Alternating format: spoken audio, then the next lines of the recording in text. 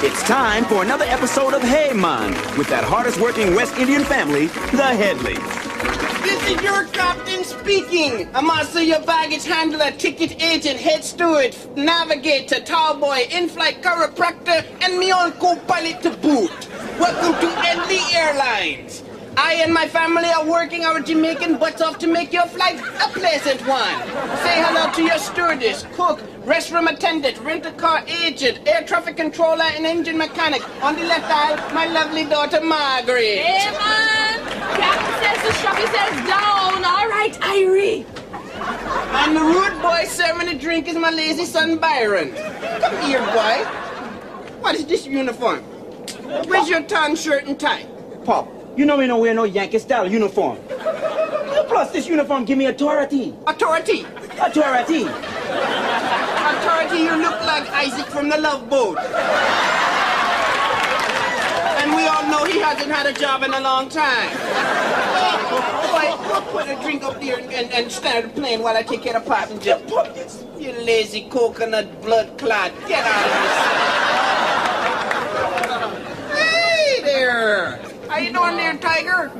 What a cute little fella you got there. Thank you. How old is he? He's four. Ah, four years old, eh? Hey, look at that. Ah, what does he do? What does he do? For a living, his job. What's his job? He's a four-year-old little boy. He doesn't have a job. Four years old and doesn't have a job.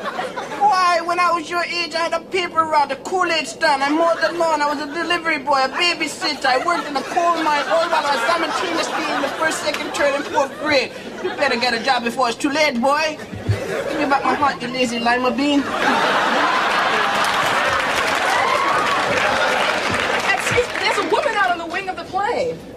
Get excited, it's just my wife Hilda doing the laundry for her day job. Oh, God, I love the wind out there. It dries my laundry in one third at a time. Yes, it does know. Godfrey, look at here. What is this? I'm out there three minutes and lazy Margaret sitting down on a job. Look, Mama, leave me alone. I've done all my chores. Besides, I'm talking to this real cute fella sitting next to me, you know. What does he do now? Well, him from Trinidad. Him my 15 job, and I think I love him. Okay, Mom. Uh, excuse me, Captain. Is it necessary for this woman to iron her clothes right here? I'm trying to relax. Relax. Aren't you on a business trip? Well, I'm on a vacation. Vacation from how many jobs? One. One job! You lazy goat. You have some big, great, big hairy nurse sitting up here in the business class with hard-working people. You should be back there in the lazy class. No, but I purchased a business class ticket. Well, I gotta tell you something. Your ill-gotten lazy money is no good here. This class is for hard-working business people. Get out. Security. Security here. Get up. You're under lazy arrest. Get in the back, you lazy goat. Lazy man. Go, lazy Get out of man. here. Pop, pop, pop. We have to land the plane, but the landing gear is broken. Oh, well, we got to land the plane anyway. Crew, prepare for a manual landing. Nothing else to do, no. Lord, That's right. Okay, Margaret, you get under the nose. You and I will get underneath the wings.